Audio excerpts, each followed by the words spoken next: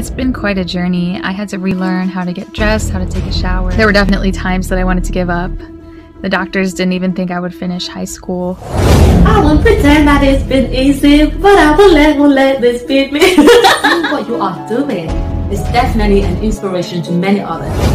I can't give up. When people look at you, they wouldn't know that you are going through something as huge as this.